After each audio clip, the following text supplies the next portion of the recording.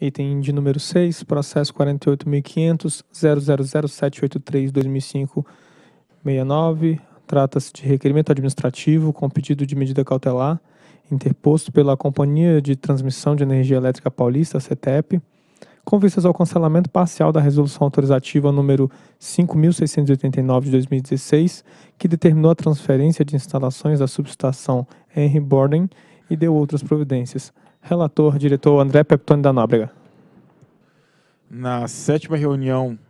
deste colegiado, que foi realizada no dia 8 de março de 2016, esta diretoria colegiada decidiu unanimemente determinar a transferência da EMAI para a CETEP, de instalações da subestação de Henry Borden, com característica de sistema de transmissão de energia elétrica em até 90 dias após a data de publicação da decisão, e estabelecer os valores da RAP referente à operação e à manutenção das instalações transferidas à CETEP, dentre outras providências, e a decisão foi consubstanciada pela Resolução Autorizativa 5.689-2016. Por considerar a Resolução Autorizativa 5.689-2016, que foi publicada em 14 de março, os 90 dias para transferir os ativos inici iniciaram em 15 de março, uma terça-feira, e encerraram-se no dia 12 de junho de 2016 um, dia, um domingo, dia não útil, fato que prorrogou para o dia 13 de junho, na segunda-feira. Ocorre que, mediante a carta de 31 de maio de 16, protocolada em 6 de junho, a CETEP solicitou cancelar a resolução autorizativa 5.689. Argumentou que o cenário atual era muito diferente daquele existente em 2004, quando fora pela última vez consultada pela ANEL sobre a transferência dos ativos. E por intermédio de carta de 8 de junho de 16, a EMAI apresentou manifestação quanto ao pedido da CETEP que fosse cancelada a resolução 5.689 e conformada com a condução do processo, a CETEP, pela carta de 1 de agosto de 2016, apresentou requerimento administrativo com pedido de medida cautelar para que seja suspensa a obrigação de receber em transferência as instalações que compõem a subestação Henry Borden nos termos da resolução 5.689 de 2016, até que a ANEL analise em definitivo as questões trazidas pela CETEP.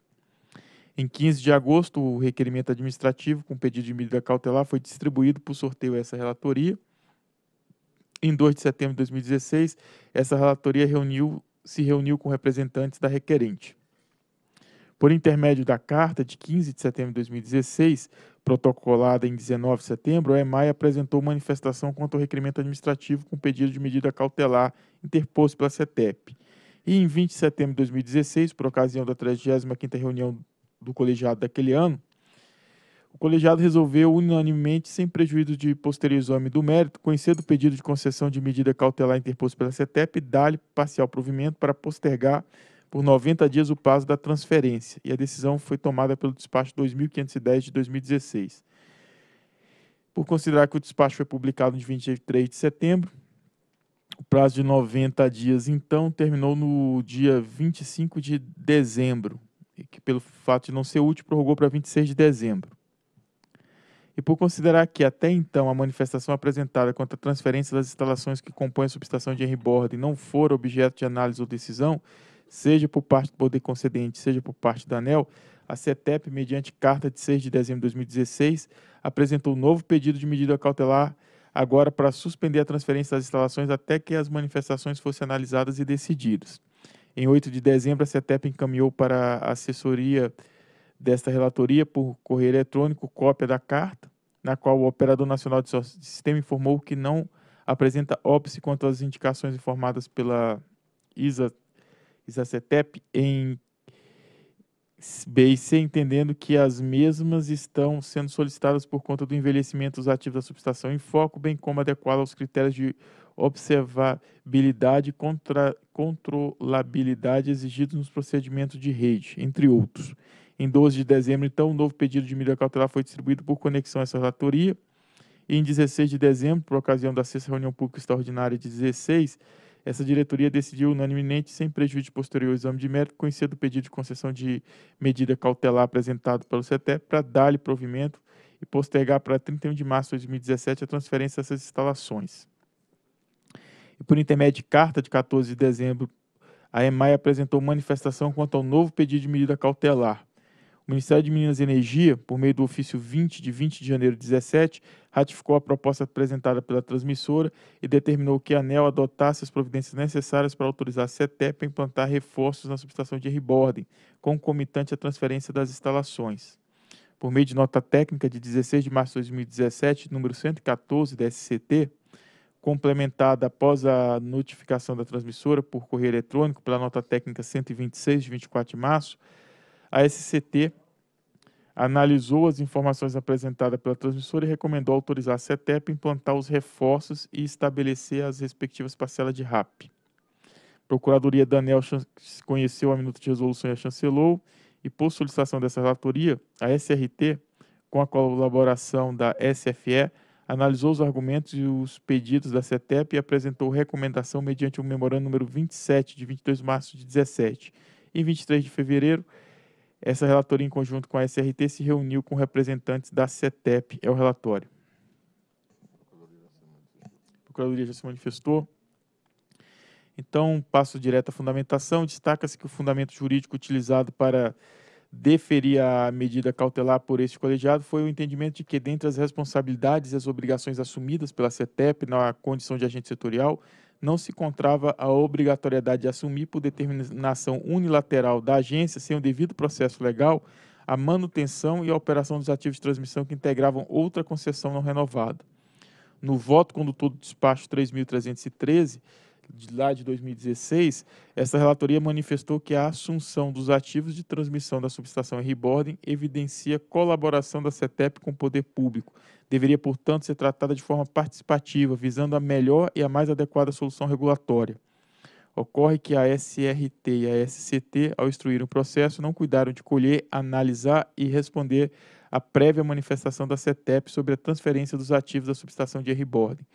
Com efeito, verifica-se nos autos que, por meio do ofício 4.563, de 24 de novembro de 2004, a CETEP, reportando-se à reunião em 3 de março de 2004, manifestou concordância com a possível transferência de ativos da subestação em Reboarding, haja vista que a sugestão dessa agência teve como base a adequação necessária dos equipamentos e estruturas da subestação de Reboarding, razão pela qual apresentou estudo de adequação da subestação aos requisitos mínimos dos procedimentos de rede do ANS, para sua integração à rede básica e assunção das funções de operação e manutenção pela CETEP. E mediante o exame dos autos, verifica-se que, passados mais de 10 anos até a emissão da nota técnica conjunta 40, de 16 de abril de 15, que fundamentou a emissão da Resolução 5.689, o estudo para adequação da subestação não foi analisado ou respondido pela agência, nem foi colhida nova manifestação atualizada da transmissora, o que caracteriza lesão ao devido processo legal. Não obstante o vício processual, frisa-se que a diretoria colegiada entendeu que não seria o caso de simplesmente anular a Resolução 5.689, haja vista a necessidade de regularizar as situações fáticas de operação e manutenção dos ativos DEMAI. Decidiu-se, portanto, pela concessão de medida cautelar e pela sua prorrogação para viabilizar a necessária participação da CETEP no processo e assim sanar os vícios processuais identificados. A transmissora, em, sua em, suas manifestações, sustentou que não se opunha a receber os ativos de transmissão, mas não teriam sido observados requisitos mínimos para colaborar com o poder público é, equilibradamente sem ônus excessivos. Defendeu a necessidade de ajustar a Resolução 5.689 para excluir a responsabilidade pela operação e manutenção de dois transformadores de aterramento e respectivos modos de conexão que não existem na subestação de Reboarding e cobrir os custos de operação e manutenção das instalações antigas com tecnologia ultrapassada e descontinuada. Implantar reforços nos ativos com a fixação prévia de respectiva receita, a RAP, e afastar a aplicação de parcela variável por indisponibilidade, parcela variável por restrição operativa, até que implantados reforços. Afastar a aplicação das penalidades previstas na Resolução 63, até que implantados reforços, flexibilizar o atendimento aos procedimentos de rede até que implantados reforços e impedir cobranças da EMAI a título de indenização e uso do pátio de 230 kV. Passa-se, pois, a análise dos argumentos apresentados nas manifestações apresentadas pela CETEP. Então, sobre o ajuste da Resolução 5.689. A CETEP argumentou que a resolução autorizativa 5.689 de 2016 impõe a responsabilidade pela operação e pela manutenção de dois transformadores de aterramento e respectivos modos de conexão que não existem na subestação Henry Borden. A SCT, após analisar o caso, por considerar que os equipamentos de fato não existiam, considerou o pedido razoável e recomendou que as parcelas de RAP referentes a tais equipamentos fossem excluídas do anexo 1 da Resolução 5.689, com que se deve concordar. A transmissora sustentou ainda que as parcelas adicionais de RAPs fixadas pela Resolução 5.689 seriam insuficientes para cobrir o custo de operação e manutenção das instalações, pois seriam antigas com tecnologia ultrapassada e descontinuada, razão pela qual não podiam ser utilizados os mesmos critérios aplicados em instalações novas. A SCT alegou na nota técnica 126 que, nos termos da regulação, para fixar a parcela relativa à operação e manutenção das RAPs, tanto em licitações quanto em autorizações de reforço, eram utilizados percentuais de 1,8% a 2% do valor novo de reposição das instalações a serem mantidas e operadas. Observou que, no caso, fora calculado o percentual médio de 2%, considerado rotineiramente como adequado para remunerar o serviço. Julga-se correto o entendimento e o procedimento da SCT, haja vista que, nos termos do Decreto 2655 de 98, o regime tarifário do Serviço Público de Transmissão de Energia Elétrica deve assegurar a cobertura de custos compatíveis com o custo padrão e não necessariamente com o custo efetivo da transmissora. Dessa maneira, a RAP referente à operação e à manutenção das instalações de transmissão em 230 kV transferidas à CETEP na subestação de Henry Borden fixada no anexo 1 da Resolução 5.689, deve ser ajustada para R$ 443.356,07. Sobre os reforços de Henry Borden respectiva RAP, verifica-se por determinação do planejamento setorial, a CETEP deverá adequar o modo geral da subestação de Borden mediante a substituição do sistema de serviços auxiliares, do sistema de telecomunicações, na construção de nova casa de comando e das adequações associadas. O módulo de interligação de barras em 230 kV da subestação também deverá ser adequado com substituição dos equipamentos principais do sistema de proteção e controle e das adequações associadas. A transmissora deverá ainda adequar os modos de entrada de linha 230 kV das linhas de transmissão para a subestação Piratininga e Carbocloro mediante a substituição dos equipamentos principais do sistema de proteção e controle no modo de entrada das linhas da subestação Piratininga. Já para o modo de entrada de linha 230 kV associado à linha, de, à linha para a subestação Cubatão, será necessária a troca de três para-raios e dos sistemas de proteção e controle e adequações associadas. Então, a concessionária deverá também ajustar na subestação Piratininga o modo de entrada da linha de transmissão de 230 kV em borda em Piratininga, mediante a substituição do sistema de proteção e controle associado a este modo. E após a notificação, então, a transmissora solicitou alterar o quantitativo de unidades de BEI de proteção de barras para o modo de entrada da linha de transmissão 230 kV em Riborda em Piratininga, em Riborda em Cubatão e para o módulo de interligação de barras. Pediu ainda mais uma unidade central de proteção de barras para o módulo de interligação de barras, bem como autorização para instalar três transformadores de corrente de módulo de entrada de linha de transmissão 230 kV em Riborda em Cubatão, em substituição aos transformadores de corrente atuais instalados na bucha do disjuntor denominado 4L, pois não possuíam a quantidade de enrolamentos exigidas no procedimento de rede. E pleiteou também realocar o disjuntor 4L para liberar espaço para os novos transformadores de corrente. Na nota técnica 126, a SCT avaliou que os pedidos da CETEP, conquanto não presentes nas informações inicialmente apresentadas pela transmissora, seriam corretos à luz das novas exigências do, do procedimento de rede, com vigência a partir de janeiro desse ano.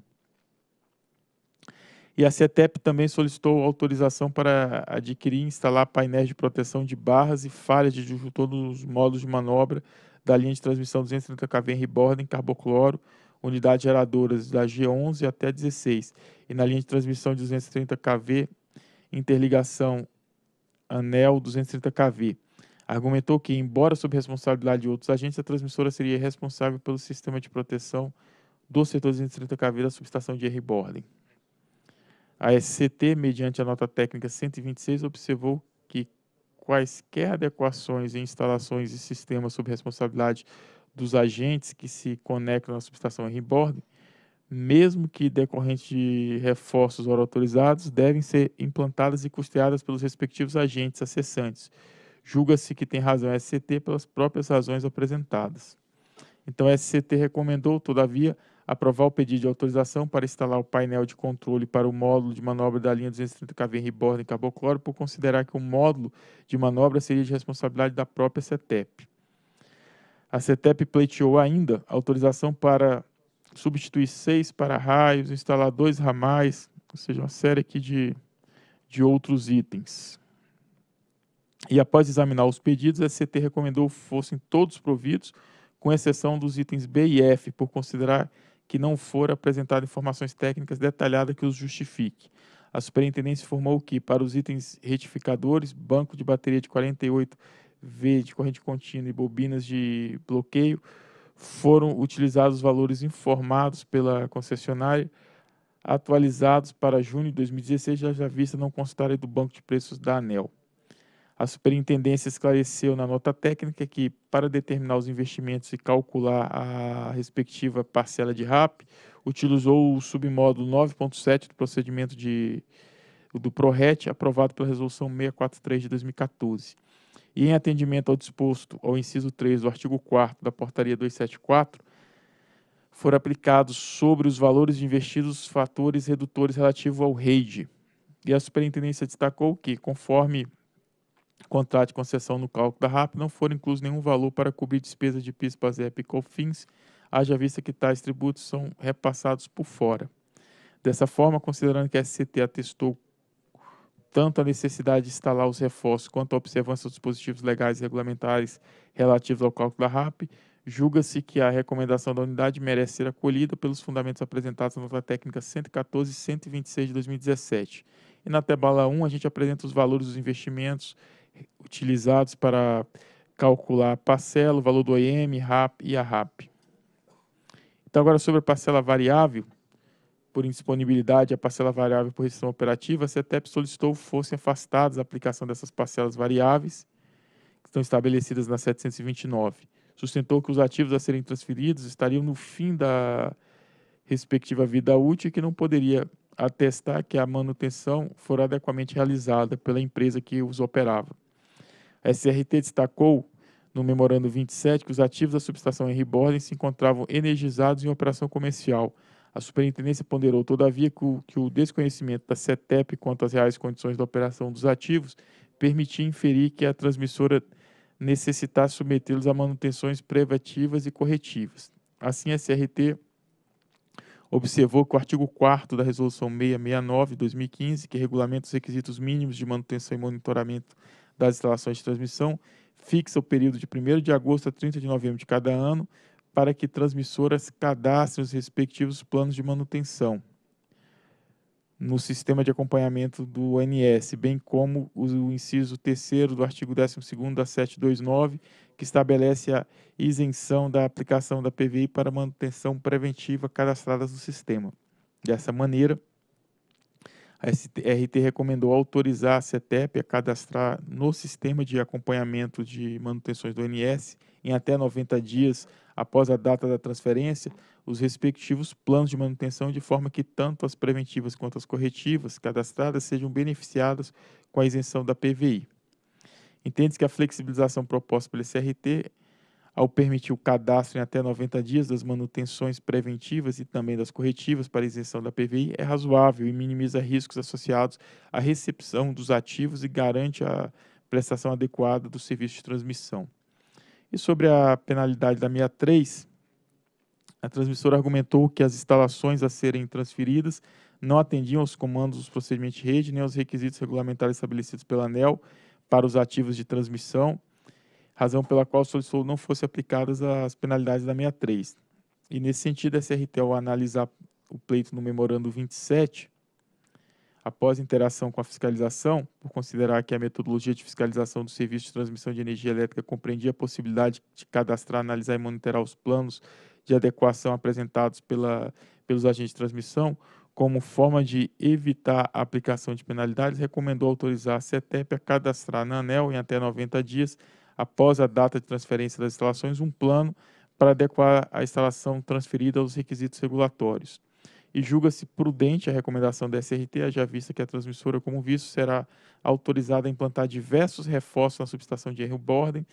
que também visam adequar as instalações aos procedimentos de rede. Dessa maneira, Cabe à fiscalização, com razoabilidade, verificar quais obrigações podem e devem ser exigidas imediatamente da transmissora e quais devem ser subordinadas ao prazo para a implantação dos reforços.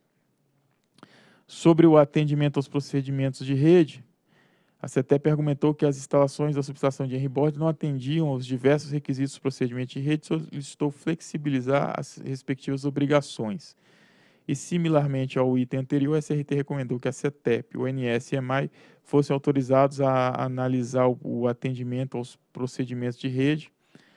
da operação da subestação em Borden e, nos casos necessários, estabelecer cronograma de ajuste da operação de forma coordenada com um plano para ajustar as instalações transferidas aos requisitos regulatórios e a implantação dos reforços de melhorias.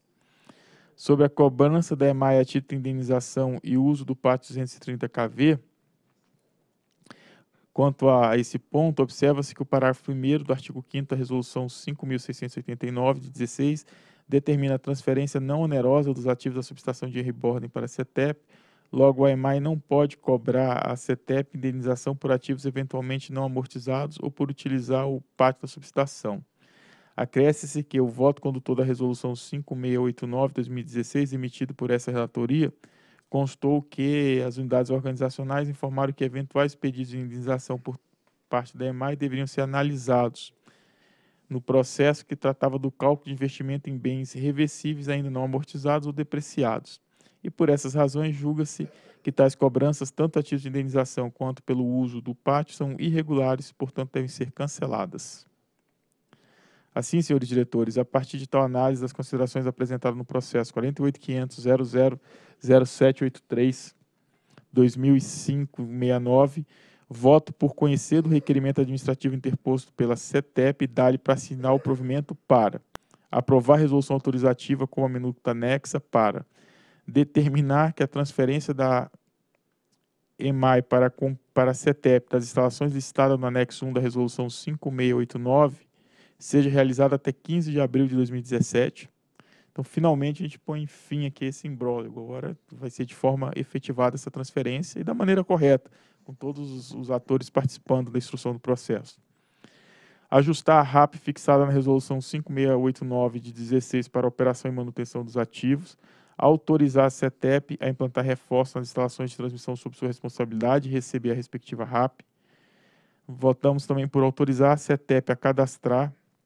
no sistema de acompanhamento e manutenção do NS até 14 de junho de 2017, plano de manutenção preventiva e corretiva da subestação de rebordem,